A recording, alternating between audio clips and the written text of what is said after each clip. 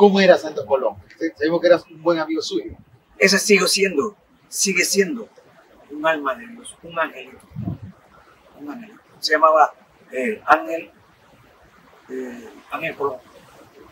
¿De qué conversaba? ¿Cómo era él? ¿Qué, qué le gustaba hacer además de cantar? Bien sencillo y le gustaba el relajo porque le gustaba hacer muchos chistes, muchos chistes. Y gozaba con eso de hacer chistes. ¿Qué parte de Como persona, tremenda persona.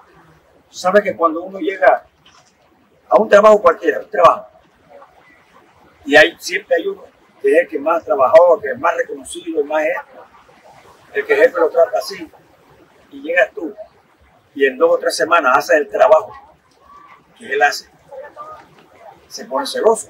Oh, oh, llegó aquí me va a tumbar mi trabajo. Eso pasa en todas partes. Pero con él, Y con él por lo contrario, todo lo contrario. Él me, me recibió con los brazos abiertos. Se me paran los pelos. Que Dios lo tenga en la gloria.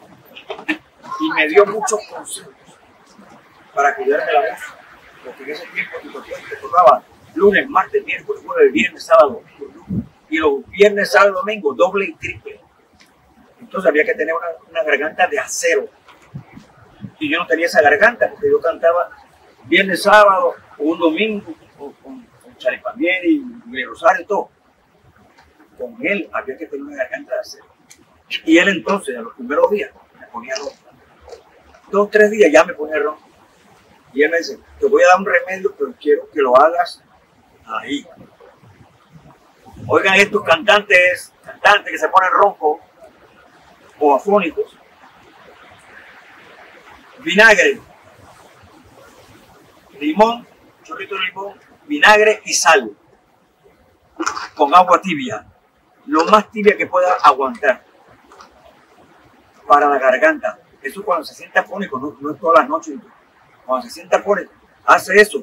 Entonces, antes de acostarse, que ya no va a tomar más agua ni va a comer más nada, hace la garganta. ¿Sabe que lo, la garganta se hace? Oh, oh, toca. No, la hace con el diafragma, con el viento. Como quiera va a ser. Y no usa la voz, porque la voz. Ese remedio me lo usan Y hasta la fecha, cuando yo me siento medio afuera.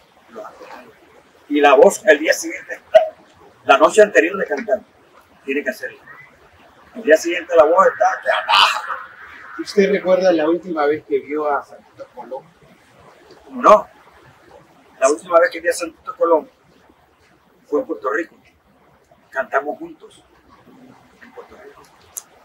Con una orquesta que dirigió Elías López, el gran trompetista Elías López, 18 músicos. De un espectáculo bien grande. Él cantó boleros y yo canté mis, mis temas.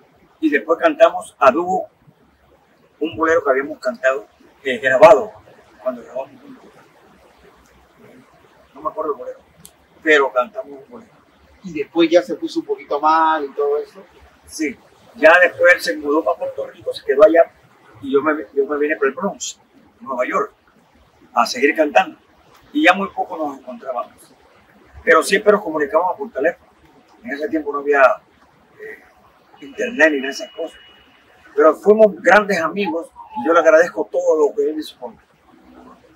Hasta la fecha, 83 años de edad, todavía no he bajado el tono de mi, de mi timbre de voz. 83 años. 69 años en la música. Gracias a Santito, todavía puedo cantar en ese tono. En todos los tonos que grabé los niños.